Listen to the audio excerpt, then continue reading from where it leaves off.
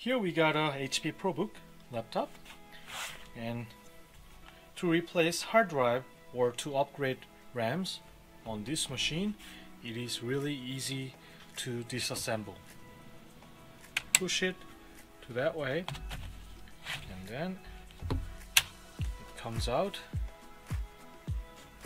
and now the second thing we're gonna do is to remove this bottom tray.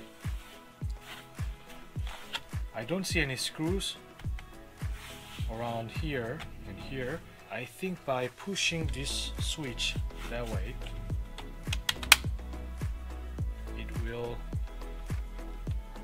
open up the bottom tray. Okay, it opens up.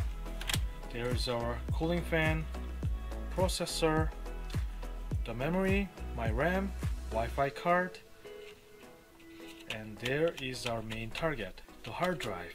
Here I see one, two, three, four screws in total.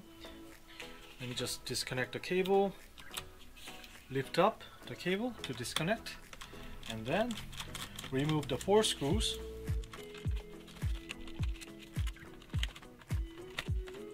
And use this handle to lift up the hard drive from the laptop.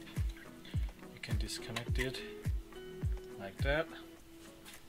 And now you have to remove one, two screw from here and two more screws to remove to take this off from the metal uh, tray.